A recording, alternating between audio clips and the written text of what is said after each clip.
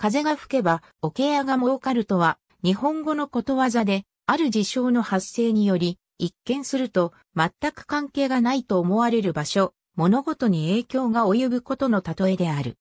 台風が吹けば、桶屋が喜ぶなどの異行がある。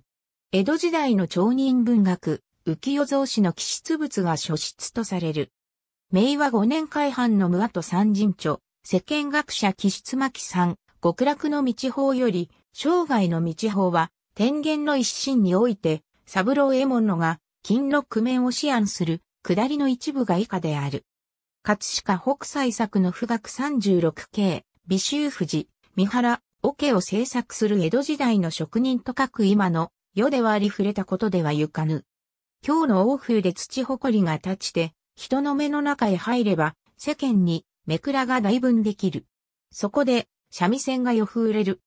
そうすると猫の皮が、担当入りによって、世界中の猫がだいぶ減る。祖父なれば、ネズミが暴れ出すによって、おのずから箱の類を、かじりおる。ここで箱屋をしたらばだいぶよかり祖父なものじゃと思案は、しだしても、これも、元手がなふっては拉致開けず、無跡三人、石鹸学者気質より、慣用句辞典より転記。関連内容として、台風が吹けば、土ぼこりが立ち、盲人などの目病室患者が増加する。盲人などが三味線を制御とし、演奏方法を指導したり、角付けで三味線を演奏するので、三味線の需要が増える。三味線製造に猫の皮が欠かせないため、猫が多数減り、ネズミが増加する。これらネズミは箱の類をかじることから、桶の需要も増加して、桶屋が儲かるだろう。が挙げられている。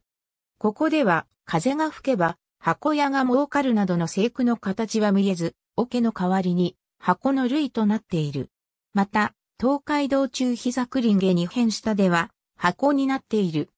江戸時代には、江戸並びに、地方の城下では、桶屋町や指物町などの職人町が発達していた。庶民の手桶や商品製造用の消化桶を制御とした桶屋があり、また木を組んで木箱を組み立てた上で、その上に精巧な細工を施す、指物屋などがあった。一部の俗説では、桶は、缶桶の意味で、何らかの理由で死者が増え、缶桶の需要が増えるとも言われるが、これは間違いである。江戸時代の日本で成立した落語で、棺屋を早桶屋と別称していることなどから、近代になって曖昧になったのではないかとされる。しかし、戦術した通り、桶より箱が古い形である。他にもいくつか俗説がある。また、冗談や大喜利として新説が考え出されることもある。これらの背景には、オリジナルの因果関係が突拍子もないこと自体のほか、当時の盲人が音曲を制御としていたこと、三味線に猫側が使われることなど、当時の文化に関する知識が必要とされることがある。